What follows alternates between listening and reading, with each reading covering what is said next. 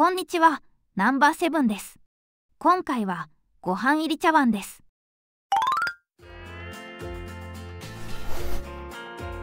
真珠ふモットの3種類あるご飯入り茶碗のうち、基本的なご飯入り茶碗を作ります。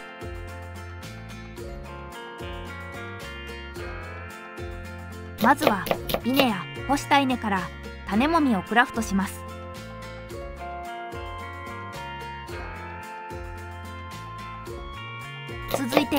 種もみから米をクラフトします。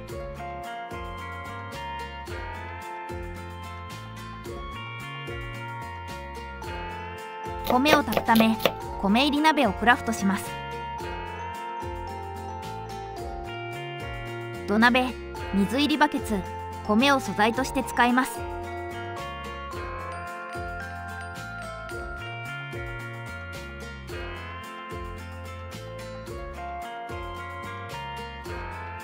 クラフトした米入り鍋を加熱します。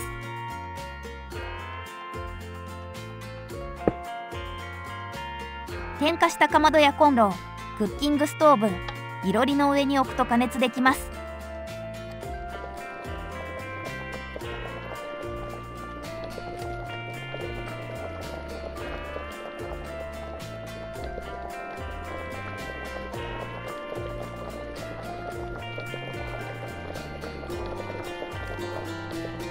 表面が変化したら調理完了です。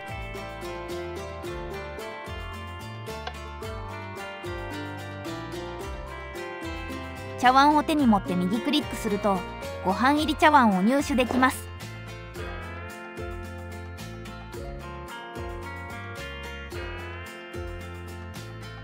1回で4杯分のご飯入り茶碗を調理できます。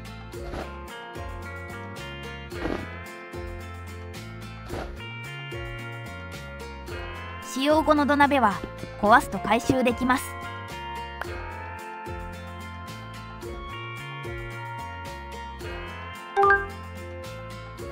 その他のご飯入り茶碗の作り方です。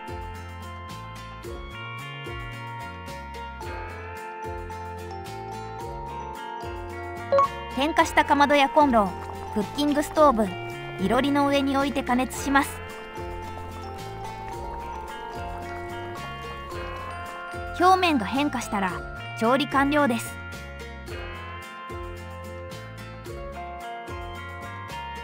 茶碗を手に持って右クリックするとご飯入り茶碗を入手できます。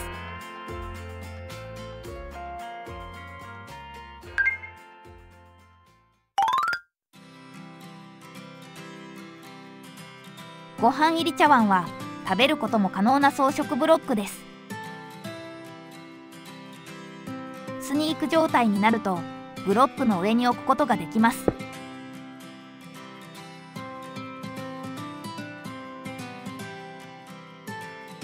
ハーフブロックや真珠フモットの座卓などの上に置くこともできます。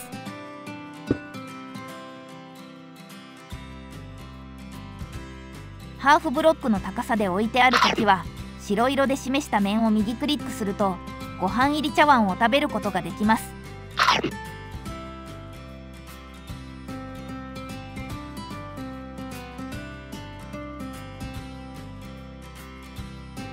フルブロックの高さで置いてある時は当たり判定に合わせて右クリックするとご飯入り茶碗を食べることができます。一口以上食べたご飯入り茶碗はそれを壊した時に茶碗をドロップします。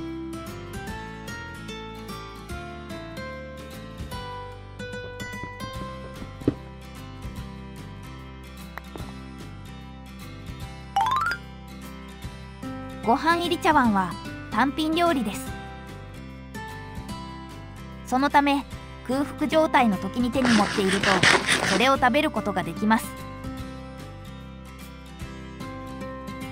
ご飯入り茶碗を食べ終わると茶碗が残ります。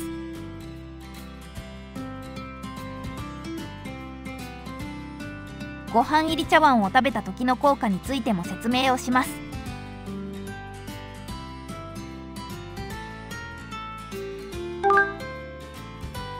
ブロックとして置いたご飯入り茶碗を食べた時の効果です。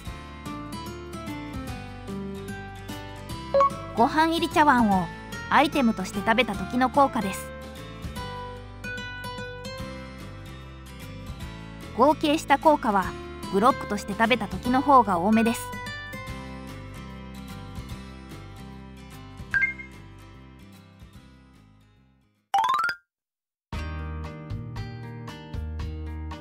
ご飯入り茶碗は定食の素材にすることをおすすめします。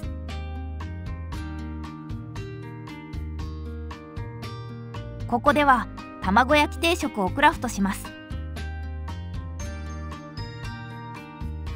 ご飯入り茶碗白菜の塩漬け味噌汁緑茶入り湯飲み皿卵焼きを素材として使います。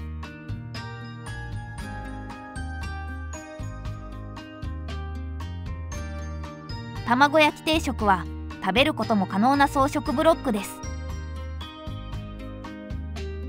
そのためブロックの上に置くことができます。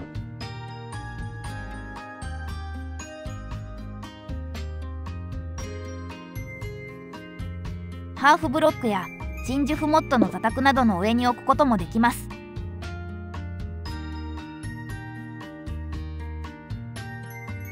ハーフブロックの高さで置いてある時は白色で示した面を右クリックすると卵焼き定食を食べることができます。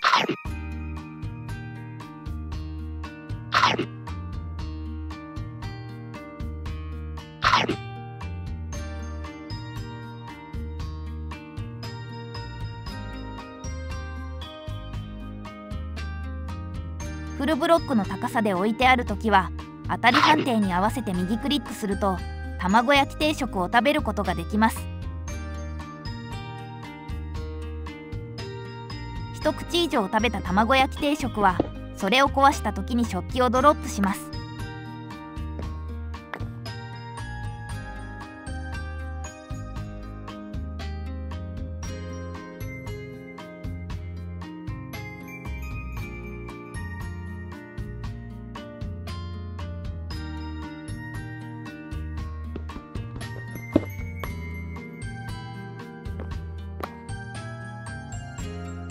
最後に定食のレシピとそれらを食べた時の効果を説明します。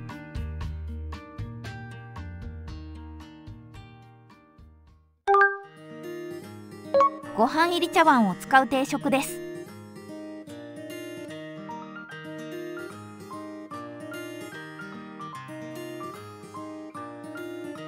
たけのこご飯入り茶碗を使う定食です。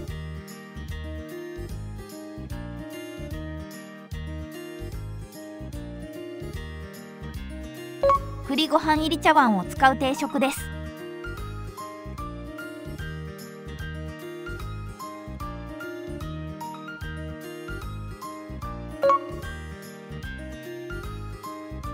ご飯入り茶碗を使った定食を食べた時の効果です。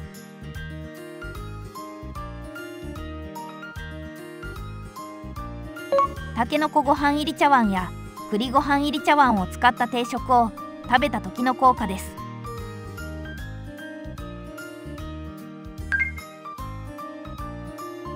回は以上です。またお会いしましょう。